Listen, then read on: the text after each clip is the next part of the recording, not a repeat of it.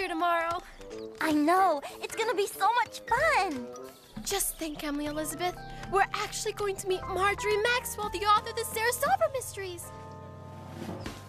This must be her booth. I really love her books. She's going to have copies of her newest book, Sarah Solver Saves the Day. We're definitely gonna be there for that.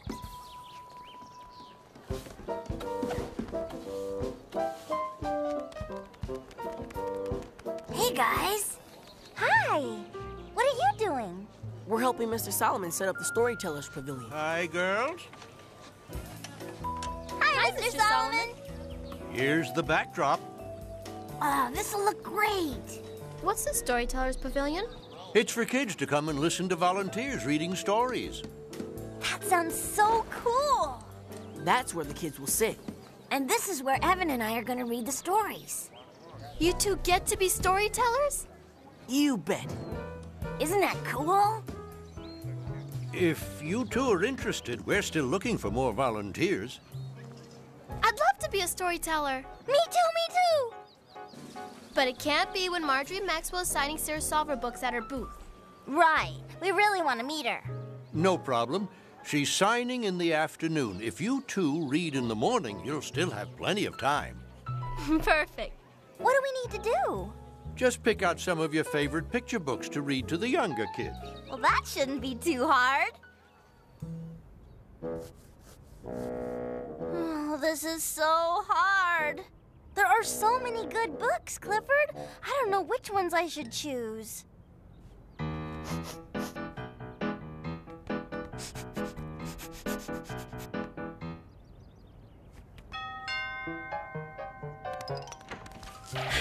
You've got to help me. I can't figure out which books to pick.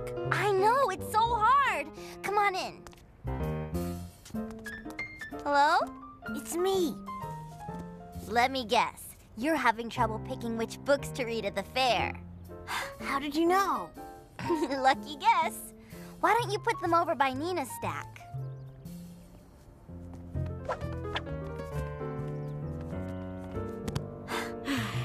Can you guys help me? Evan? Pick out the books to read? Come on in. Whoa, whoa. Looks like we've got enough to choose from.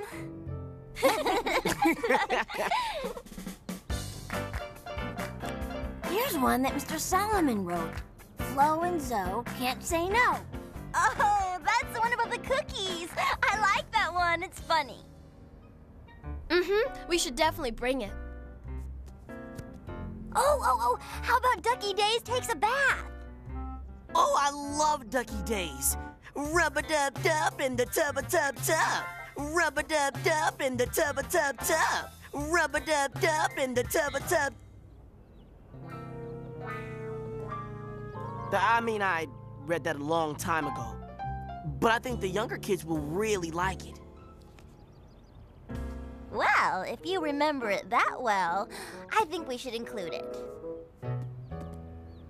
Oh, what's this? The Amazing Adventures of Clifford the Courageous Canine. Clifford the Courageous Canine. Those are stories that I make up with Clifford. We pretend he's a superhero with a special utility collar and cape. that sounds neat. It is. The stories are lots of fun to make up. Clifford the Courageous Canine. I'm lost in the woods, and a squirrel just ate my last granola bar. Come rescue me!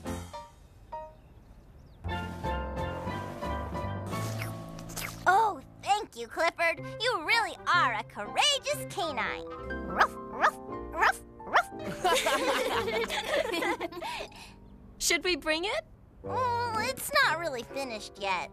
Okay, it looks like we've got enough for the book fair anyway. Oh, this is going to be so much fun. Ruff, ruff, ruff, ruff, ruff.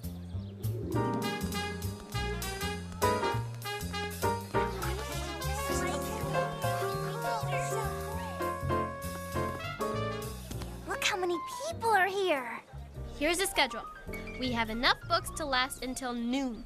Which is when Evan and Shun will arrive with the next batch.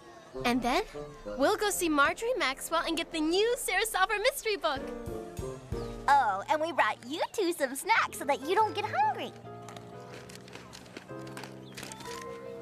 Okay, who's ready for story time? Me! And Flo looked up at the baker, Would you like another cookie? asked the baker. and even though she was full, Flo just couldn't say no. The end. And as Ducky Days finally got clean, he sang Rub-a-dub-dub in tub-a-tub-tub. the end. Wow, great job, guys. Did you like the story? Yeah! So did I. What's next? We're all out of books. What? We can't be. We had enough books to last until noon. It is noon. Where are Evan and Shun? They were supposed to be here by now. I'm sure they'll be here any minute. If they're not, I'll miss Marjorie Maxwell and the new Sarah Solver mystery book. I know. And there's another problem. What? They're waiting for more stories, and we've already read all of these. Oh no. Well, can we reread some of them? Uh, they've already heard them. Ah, how could Evan and Shun do this to us? Where are Evan and Shun? They're so late. Well, I'm sure they have a good reason. Maybe, but I'm still missing the Sarah Solver mystery presentation. That's not our only problem. The kids look really bored. I know, but what are we gonna do? We don't have any more books to read. Silly puppy. You look just like Clifford the Courageous Canine. That's it? What's it? Clifford the Courageous Canine. We'll tell them those stories. But we left the book at home, remember? Yes, but where did you and Clifford get the story ideas in the first place? Well, we just used our imaginations and made them up. hey, we can do that now. Who can help us? Clifford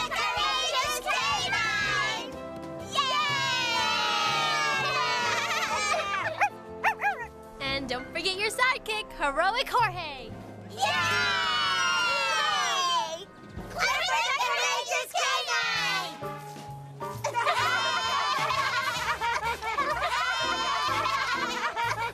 we are so sorry. Where have you been? We had to help Mr. Solomon. Uh, one of the wheels on my wheelchair broke. Evan and Shun helped me back to my apartment so I could fix it. We figured you had a good excuse. You two should hurry up and go get the Sarah Solver book. It's too late. It's already over. I'm really, really sorry, Nina. Oh, I hope you're not mad at us. Of course not.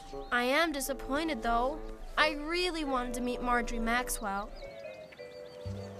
Well, I'm pretty proud of you girls. You could have just left these kids, but you didn't. That showed a lot of responsibility.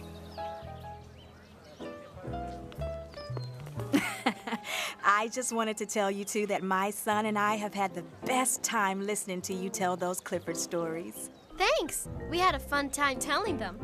Did you make them up yourselves? Because I write stories too, mostly mysteries.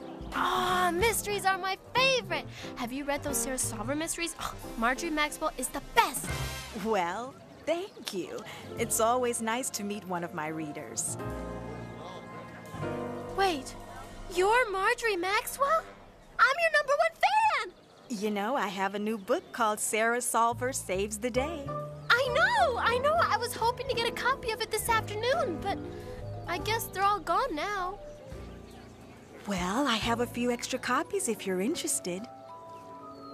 Are you kidding? We're very interested.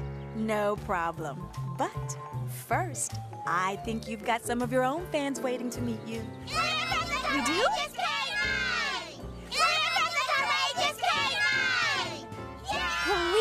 Back. Come on, you can help us too. We need another big problem for Clifford the Courageous Canine to solve. There's a man named Mr. Solomon. And the wheel on his wheelchair breaks. Oh no! This sounds like a job for. Clifford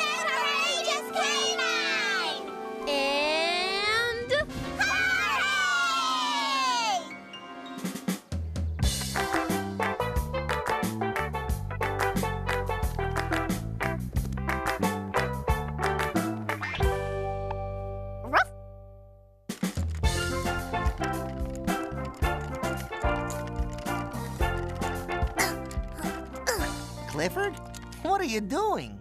I have a play date in the laundry room with the Sidarskis. I want to share all my favorite toys, but if I move them one by one, I'll spend the whole play date going up and down the stairs. Oh, how about if we help? Sure, if we each carry a few toys. They'd all be in the laundry room in no time. That'd be great. Thanks, guys. Clifford's friends know that it's important to help others. Because when you help someone, you can make their really big job not so big at all. That's why Clifford's idea to grow on for today is help others. Oh, thanks, guys. Now there's just one more thing. Could you help us play with all these toys? You bet! All right. All right! Ugh,